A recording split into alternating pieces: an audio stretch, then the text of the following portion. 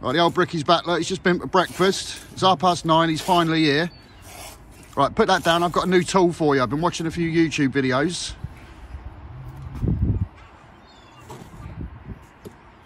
And they reckon you can do about 50 metres a day. There you go, look. Pointing gun. What on earth's that? It's a pointing gun. You fill it up, whack it in, join it up and do it in no time. I'm the tradesman. I'm not using a piece of rubbish like that. No, no, don't do... You probably broke that now. I bought that for three quid off Facebook. Oh well. Take it out of my wages. Well, you ain't getting paid today now.